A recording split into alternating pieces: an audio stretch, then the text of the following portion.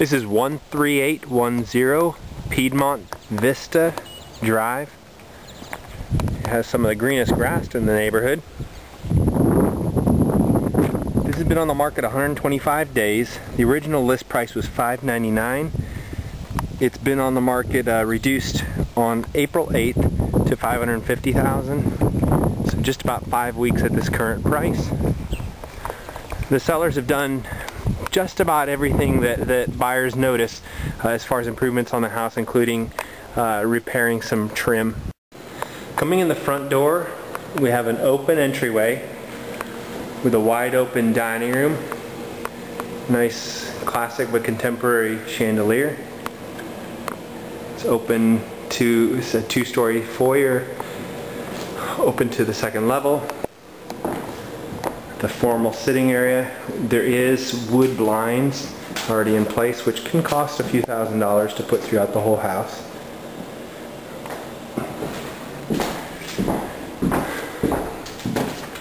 We have the library or study with built-in bookshelves. There is an area over here where you could install closets if you were to close off this area and make this then into a bedroom where there is a full bath with a shower.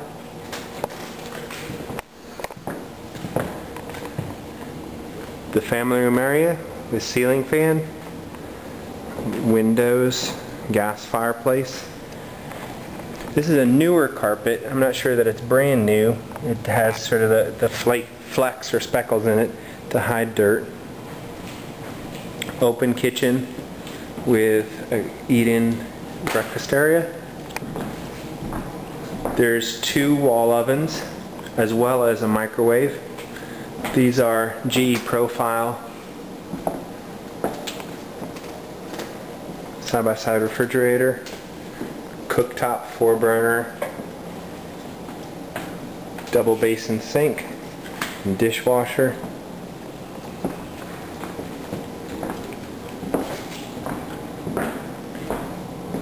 The morning room, ceramic tile. Stepping out onto the deck, it looks as though the deck has been refinished recently. We have views of the pond, and I believe it's the fourth tee here. And we have the walkout stairs to the basement area.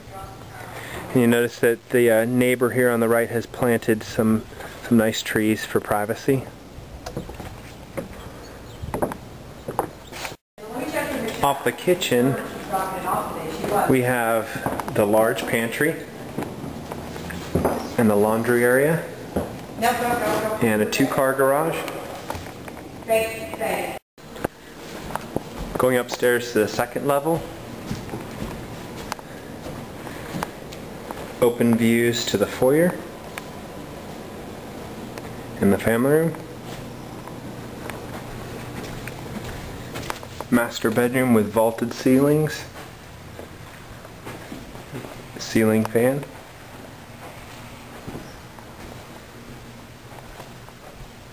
It's a pretty large master bedroom with extra sitting area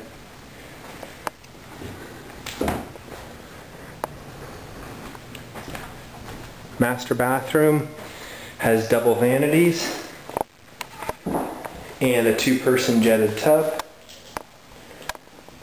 shower, and separate wa uh, water closet.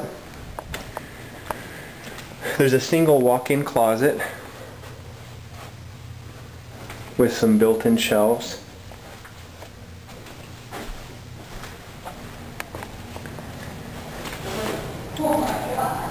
In the center of the upstairs area we have a bedroom.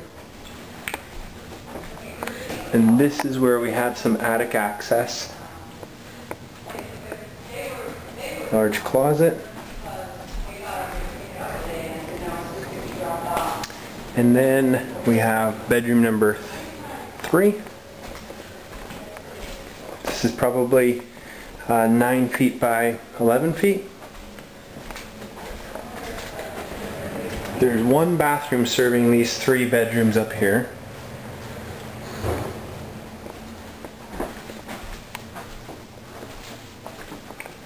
This one's probably 10 feet by 11 feet.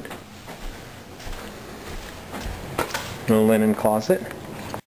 Coming down the basement stairs from the main level, we open up into an unfinished uh, bar area.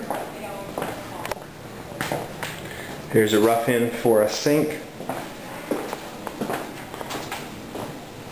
You could put refrigerator, you could put cabinets and other countertops in here. You have the media room area. It's an expansive finished basement. Here we have it already pre-wired for uh, big screen TV, center and left and right speakers, as well as the uh, wires coming in for the video. And over here they actually had a thoughtful uh, thing where we could put this the DVD and cable box with the wires and, and sound is already set up to go throughout. I don't know if you'd have some sort of a pool table or, or something over in this area. Stepping in back into here, a little bit of storage. We have the Cat 5 wiring box. Some more storage.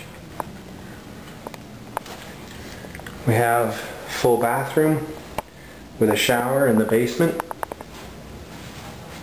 So for some of these houses we're looking at where the basement isn't finished, this is a property priced attractively at 550,000 that already has a finished basement.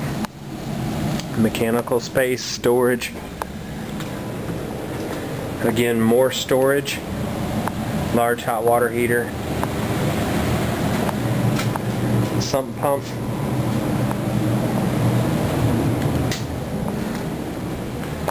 Walk out stairs through the French doors to the golf course area.